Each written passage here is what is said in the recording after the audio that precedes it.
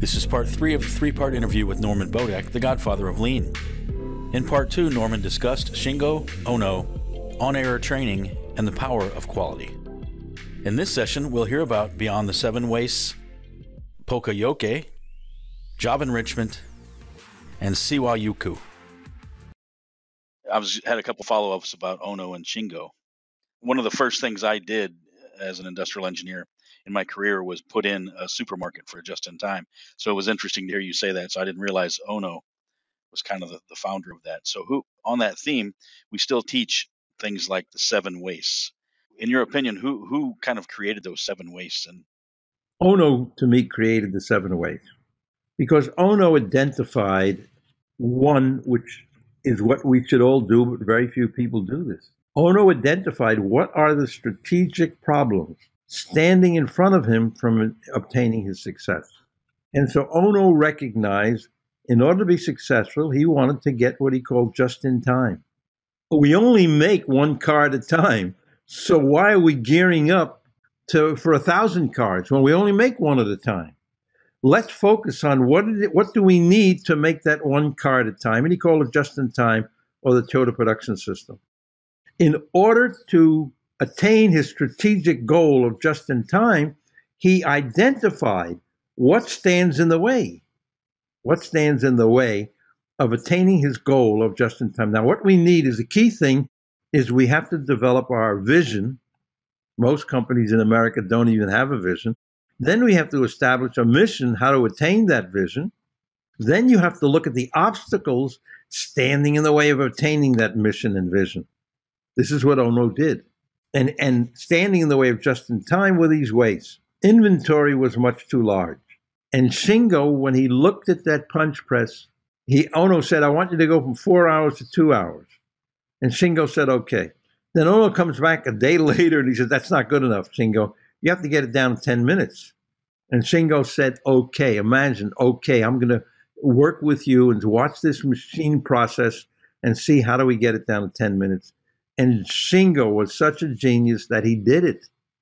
He did. He came up with something really brilliant, Chris. He said, The machine is running and then it stops. And we do a lot of things when the machine stops. As an example, in plastics, it could take about one hour just to heat the die. And Shingo said, Why can't we take things when the machine stops? Why can't we do it when it's running. This is a brilliant discovery. He called this inside exchange of die and outside exchange of die. Outside meant what can we do while the machine was running to be ready for the changeover? So he would take a die as an example and he would heat it up externally. And then when the machine stopped, the die was already hot. He just moved it into the machine, took the old one out, now, the old one even had a problem because they used to turn about 30 bolts in order to bolt it down. And then what came to Shingo, look at a tape recorder. The old tape recorder, you would take a little disc and you would put it in, and just one lever would lock the would lock this tape recorder. He says, Why can't I do this with a die? Why can't instead of having these 30, 40 bolts, why can't I just take a lever and lock it in? Boom, and it's done. And so Shingo figured out how to go from inside to outside exchange of die. And he came up with so many things that we can do to prepare for the changeover that when the changeover came, we can do it literally in seconds. And that's what they did. It took 40 hours for General Motors to take a changeover. And I saw it Toyota done in seven minutes. 40 hours to seven minutes. It's amazing what you can do. I mentioned the seven waste, and I and I think now APICS has even expanded it, Norman, into eight waste, which which includes I think the safety component or this people skills, right? Waste of people skills. And then I was listening to one of your presentations recently. I don't know if it was with Mark Graban or something that you did at Portland for their chapter up there, but you introduced a ninth waste. Yeah, thank you. I mean, it's uh, it's wonderful what came comes to me. This divine energy that takes good so such good care of me and I did come up with the seventh waste. Well, the reason is because I focused when I sold my company Productivity in 1999.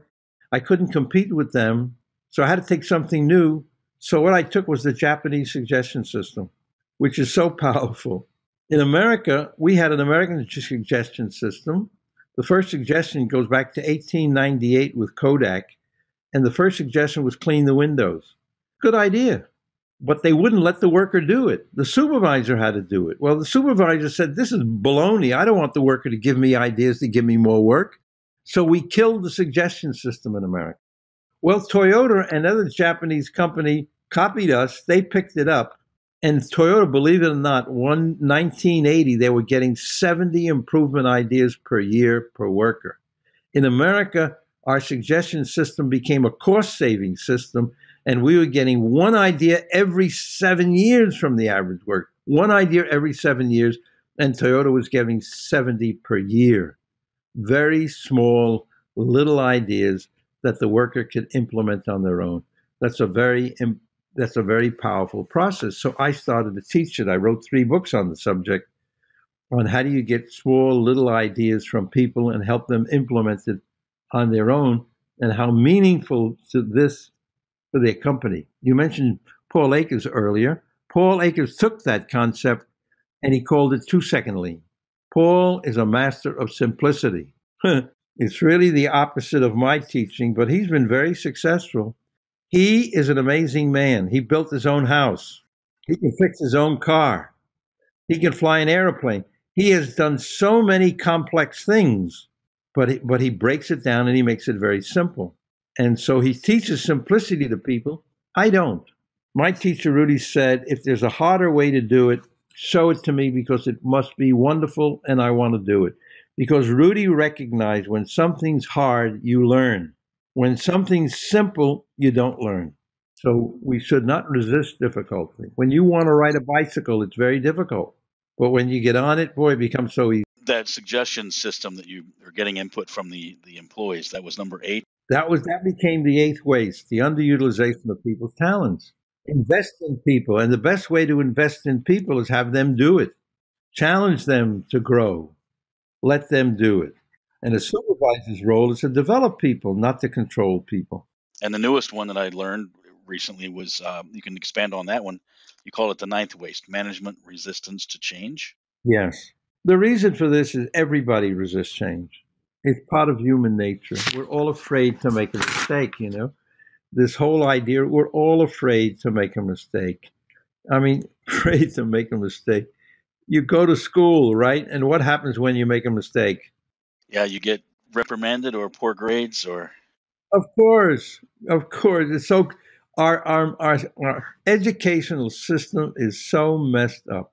Our society reflects our educational system. How can you go through 13 years of school, graduate high school, and, and you don't have a skill. You can go work in McDonald's or Walmart, but you don't have a skill. That's a crime. Our schools should be focused on giving you skills. Education should be reversed. Every time you make a mistake, it's an opportunity to learn. Well, in the ninth grade, I have such a poor memory I was sitting in history class, and Gary looks at me, a friend. He says, Gary, why are you so sad, Norman? And I said, Gary, because I go home every night, I do my homework, I come in the next day, I take the test, and I just don't remember. I don't remember what I read. And Gary says, Norman, same thing happened to me, but I came, I got a solution. I said, What is it, Gary? He says, I go home and do the assignment, and I put onto a little sheet of paper all of the ideas that I read. I said, Gary, that's brilliant. So I went home that night, took a little small sheet of paper, and I wrote down all of the key things as I'm reading. I put it into my shirt pocket. I come and take the test the next day, and I said, Wow, I know the answer, but I can't remember. I look at the little sheet of paper, and there's the teacher standing over me. She grabbed the sheet of paper, and what do you think she said, Chris? Why are you cheating? That's right. Now, the irony is I felt so guilty for so many years by being a cheater. All the teach she told every teacher in school Norman is a cheater. That was such a terrible year in the ninth grade. But who did they cheat? They cheated Norman by not giving me the right education. They cheated me. I didn't cheat them. Who do I hurt? What's the difference of having the information on a sheet of paper or having it in my head? What's the difference? Today with internet, why do you need a memory? Just learn. You have to know how to access it to use it. You don't need a memory anymore. Why do they continue to punish children with these tests, testing their memory? No. Can I apply knowledge? That's the key to education. Can I apply it? Can I use it? Can I serve other people with it? I should go to school. They should learn, they should teach me cooking. They should teach me carpentry. I'm watching, there's a new house being built right near me. It is beautiful going up. I'm watching these carpenters. They are geniuses. It's amazing their skill putting the lumber together and making this wonderful house. Schools should give you knowledge to apply, not fill your head with junk that you can't use. You can only use what you apply. Now, back to that, the waste. I'm verifying that oh, you, you say oh, Ohno was kind of the creator of the seven wastes. Oh, yeah, back to the managers. Yeah, now now we take the ninth waste, which is managers' resistance to change, because everybody was living living in fear. Managers don't want to make a mistake because that's our culture. We get clobbered by making mistakes, and so they're afraid of making mistakes, and so they have all this resistance to change. Because if they do the same thing today that they did yesterday, they survived yesterday. All right, they'll they'll survive today. Change can bring problems Change can bring mistakes. Well, yeah, once in a billion years, you can blow up a building. That's a terrible mistake. But most of these millions of mistakes that we make are wonderful opportunities for learn. And Shingo came up with something so wonderful, and he called it pokayoke. Pokayoke. In America, we had something called mis, mis, mistake proofing. And in Japan, they had a, a, a word called baka-yoke. And baka-yoke means foolproofing. That's what we called it, foolproofing. And Shingo was talking about bhakti, okay? And a woman worker starts to cry. And he says, Why are you crying? And she says, Because I'm not a fool. You're calling this baka-yoke. I'm not a fool. I made a mistake, yes, but I'm not a fool. And Shingo realized at that moment, and he changed it. We didn't do this in America, but Shingo changed it and he called it Pokayoke. Poka means misproofing. And then Shingo said, every time you make a mistake, you should try to come up with an idea to prevent that mistake to never happen again. And that's what he did. I would go to a, a plant in Japan. I've never seen it in America, but I'd go to a plant and I'd see a thousand Poka-yoke devices. So if I'm using a drill, the computer is connected to that drill to tell it how much torque should be in that drill. You don't leave it to the worker. Every time there's a mistake, you try to come up with something so the mistake could never be done again. And these sensors, they cost dollars. You know what I mean? They're so cheap to use a sensor. And people should be taught Poka-yoke. Every time there's a mistake, come up with something you can't do it again.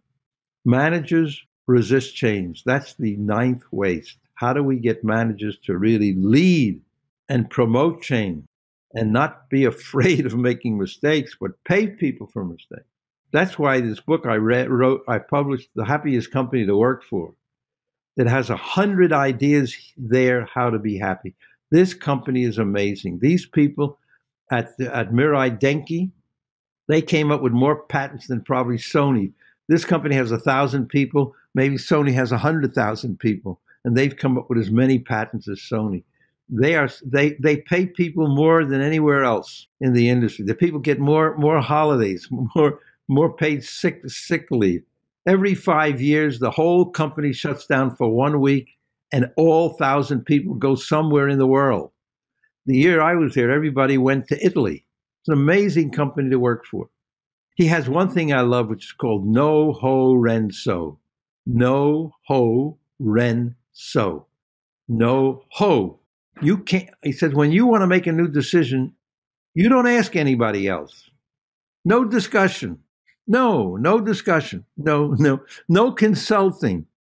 That's what horenso means. Actually, it means spinach in Japanese.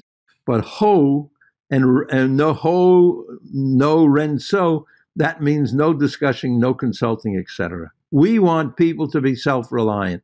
We, that's the essence of what I teach in the Harada method. We want people to make decisions.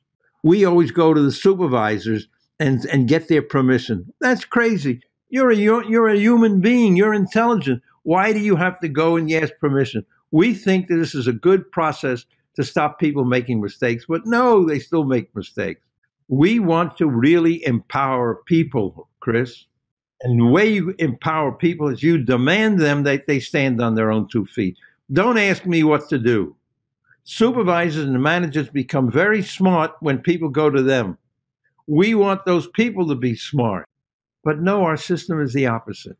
It's a shame that when we call companies, especially these big companies, and you talk to people at the lowest level, they have so little power to get anything done. It's almost impossible to call a president of any large company. I've been trying this last year. I can't get through. I got one senior vice president from LL Bean. He's my student now on the Harada, Harada method. They've closed. The senior people are afraid to talk to their customers. They're making too much money. If you're lucky to get through to a phone number of a large corporation, you'll get a guardian. You'll get some man whose job or some woman's job is to prevent you to speak to them. It's a funny system. Well, hopefully this is going to change with this new thing from the 181 corporations because they're saying we're going to improve our customer service. If you're going to improve customer service, then you better start speaking to us. Kao Soap, which is the largest soap company in Japan, it's an amazing corporation, thousands of products. It initially competed with Procter and Gamble. Now it's better than Procter and Gamble, and they get 200 phone calls a year from their customers, and they relish it. They relish it because that's where we're getting all of our new products from. These people are complaining about something, then we should be improving it. We shut off that in America. We don't want the complaints.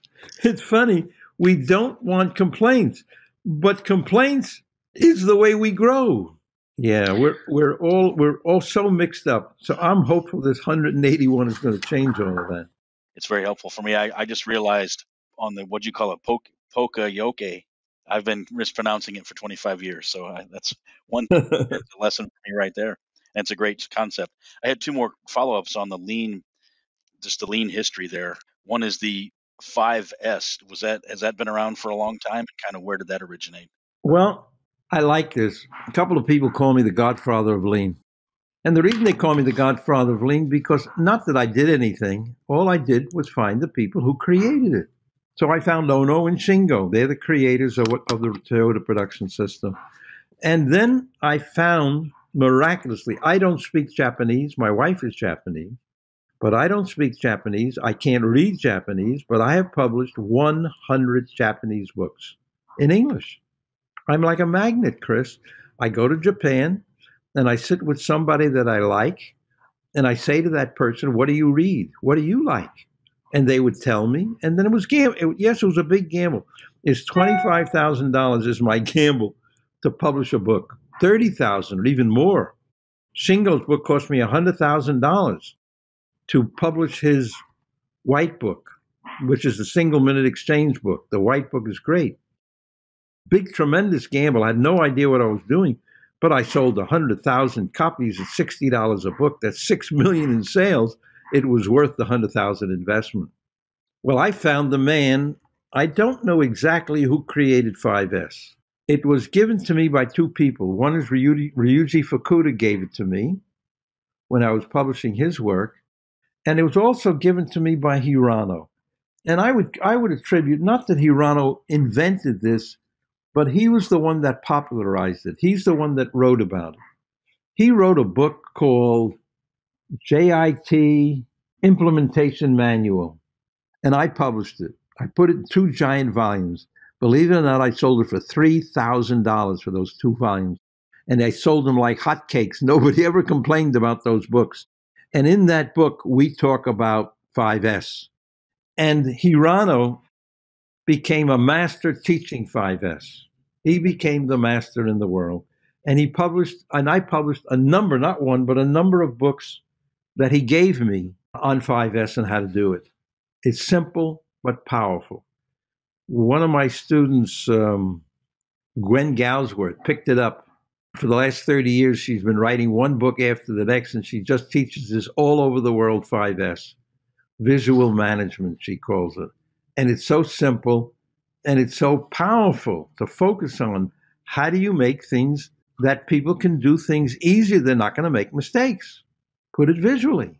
So even in this idea system that I teach, I used to make everybody take a picture of the problem. And then when they came up with the solution, take another picture. And I taught this for a number of years, maybe 10 years. I made a nice living out of it. And one of my clients was here in, uh, in Oregon. And um, I had a, maybe it was 150 people. And we were coming up with, believe it or not, three implemented ideas per worker per week. That's 150 ideas that these people came up with and implemented them. And of course, they were very small. And we would take all the pictures, Chris, and put it up on the wall. So everybody would see what we did. Why? We wanted them to replicate it. We wanted them to copy. In America, we call copying wrong, just like Norman in school. Copying is wrong. Japanese recognize copying is great because you're going to learn from it. You copy somebody else, you'll learn from it, and then you improve it. So copying is wonderful. It is wonderful. Here was the dumbest kid in school, and I end up teaching at Portland State University at the School of Business. It's an amazing story. Well, I had students copying. I didn't handle it very well. One student, I asked to do a book review, and he went to a friend of his who took the course the previous year.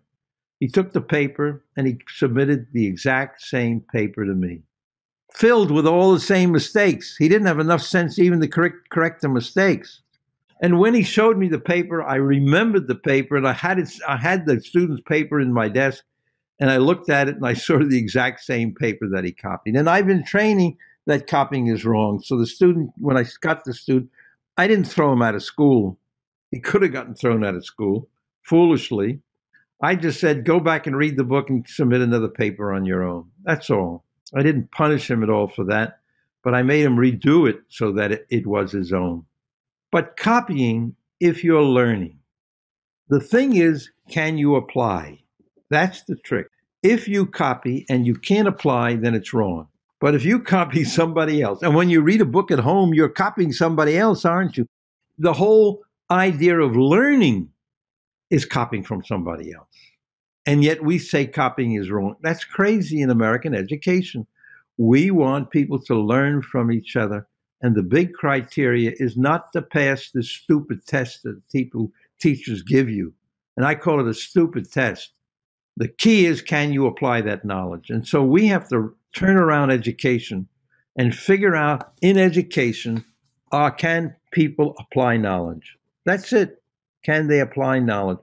If we're teaching something, can they blow blow glass? Can they make glass?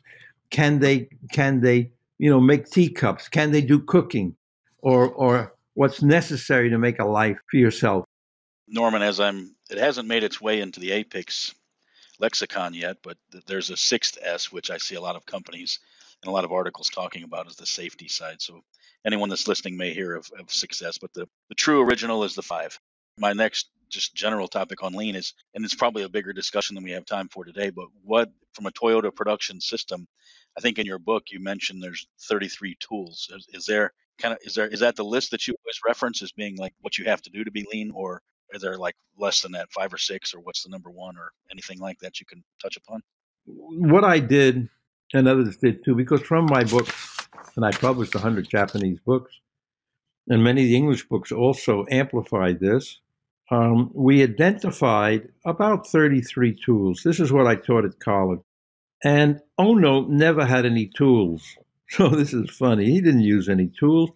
Ohno just focused on eliminating the waste and becoming successful and getting to just in time in one way. And how do you get to just in time? I like what Toyota is doing now, by the way, which I don't see in America yet, is mastery. I teach this in the Harada method. I want everybody to be a master. And I recommend anybody listening out there learn this Harada method. I mean, you could buy my book. You can go to Kindle. I think it's about $9 and, and you'll get the essence of the Harada method. And if you have any money, call me and I'll teach you the Harada method. And I'll teach you how to teach it so you'll make money by becoming a certified teacher. because the Harada method teaches you how to become the best that you are. You become a skilled person, you become a master. Toyota has a mastery system today. And Toyota identifies, the Japanese identify this throughout the country. As we said, the cleaning lady. They have what's called a, uh, they treasure masters. They, they have about 50 different disciplines, sword making and, and uh, all different kinds of crafts. And the best person is called a living master. They identify about 50 living masters. If you're a living master, I saw a plate. I really love this new plate, ceramic plate. I love the plate. It had you know drawings on the plate, and they were selling it for two thousand dollars. Why? Because this man was a living master. People will buy from the living master, no matter what your value is.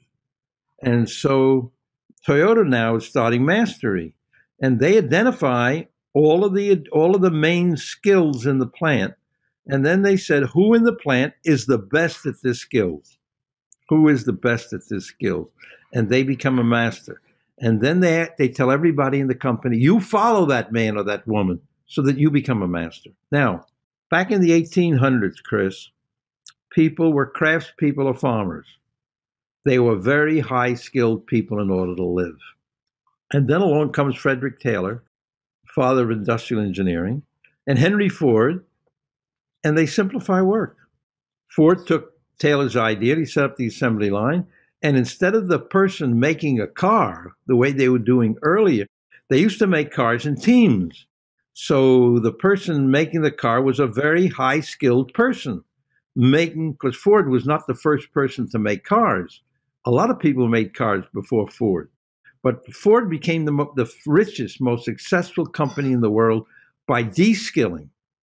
Put people on the assembly line and have them work, do the same thing over and over again every three minutes. Unfortunately, Chris, that became the model in the world. Everybody else copied it because Ford was so so successful. General Motors, DuPont, Everybody copied Ford Motor System and look at work today. Work is devastating. People go to work and we're looking for simplicity. That's why we can install robots so easy today because work is so deadly, so easy to replicate or easy to do. People have such infinite creative, such potential to have such great skills. Well, Canon camera did something great in Japan. I've been going to Canon maybe 25 times over the last 30, 40 years. They've been very good to me. When I first went to Canon, people were making the cameras and things together. Then they set up their assembly line. Then they set up their conveyor belt. And in the conveyor belt and the assembly line, people spent only three to four minutes doing one thing over and over and over and over again. And the funny thing is, the, the assembly line and the conveyor belt always goes at the speed of the slowest worker. Well, Canon got the idea, and they got the idea from Toyota. Let's expand the role of people. Volvo did it many years ago. Canon has 29 women at the last count. They're called supermeisters. And they're able to make the whole copier with over a thousand parts. Takes them about three hours to do it, and they do it in a cell all by themselves. All of the parts that they needed are surrounded around them they have with spiders, these people that run around bringing them all the things that they need. And they're doing it, Chris, at 30% higher productivity, almost at the level of perfection, because they built in all of these poka-yoke systems to prevent people making mistakes. And one woman, when she completed this copier, she signed her name and she said, You know, I just thought I made another baby. There's such pride in work when we expand people's capability. One day, Chris, I'm at Hitachi and I'm watching a man and he picks up a little disc and he puts the disc into the machine and the machine did something, took three seconds for the machine to do it. The man takes the part out, puts it down on the table, takes another one and puts it into the machine. The machine does something and then he takes it out and puts it down. Then all of a sudden the man goes, ah! He screams at the top of his lungs. He went crazy for a moment. Then he took a breath, took a deep breath, waited a few seconds, picked up another part, put it into the machine. The machine spent three seconds. He took it out and put it down again. We designed work for monkeys. Why? To be more productive. We buy, we make products for people to use, but we don't make the process of doing it real living. We make products to improve people's living. What was what was? Oh, I'm trying to remember that that uh, one company. You know, we make progress. We make products to improve people's living. That was their motto. But the process was made for idiots. Well, that has to change. And I think the moment in history is coming right now, Chris. We will start to do this. We will start to expand. We will start to train people. These 180 CEOs said they're committed to it. They don't understand it yet. I don't believe it at all. That's why I'm writing this new book. Maybe there are people out listening to me that can help me write this new book. Because I think from my experience of these hundreds of books in Japan, because Japanese companies are in the main socially responsible. The best company to me is Kyocera. Kyocera, K Y O C R A, Kyocera is a ceramic company. They've been very successful. They're probably the best ceramic company in the world. All the computer uh, boards have chips. They're all ceramic. If you open up your iPhone, you'll see ceramic. The company was, the president was Kazuo Inamori. And Inamori ran Kyocera first on a philosophy. A philosophy. What is my company all about? What's my vision? What's my mission? But what's the philosophy? My philosophy is whatever we do must be good. It must be good for the world. Well, if it's good for the world, it must be good for the, my people. So he focused on people first. I want my people to be happy. He said, I don't care if they work 12 hours a day. I don't care about that. I want them to be happy. And if they're happy working 12 hours a day, that's fine. If they need less, then they'll do less but I want my people to be happy. He started off with a philosophy of what the company is all about that it's good for the people, it's good for the world, it's good for the environment, it's good in many, many ways. A key philosophy. Believe it or not, Chris, there are 10,000 Japanese managers, maybe some Americans too, that belong to something called Seiwaj Juku, S E I W A J Y U K U, Seiwaj Juku. This is a study group where 10,000 people meet every month to study the philosophy of Inamori. Inamori was asked by the Japanese government to head up Japan Airlines. Japan Airlines went bankrupt. The national airline of Japan went bankrupt. They said, Inamori, come in and help. He took over JAL two years later. They made $2.3 billion. They went from bankruptcy to becoming one of the richest airlines in the world. Inamori taught a philosophy. He taught people to be happy. He taught he, he taught companies to build skills, and if you and, and to focus on the environment. And if you do things right, you'll make all the money that you need. If you do things right, you'll make all the money that you want in the world. This is what we have to teach to American companies. This concludes the three part series with Norman Bodek, the godfather of lean. Norman has done numerous interviews in recent years on his journey. Many you can see on YouTube. You can also get his latest book, A Miraculous Life An Unending Search for Freedom, for more insight into his interesting life.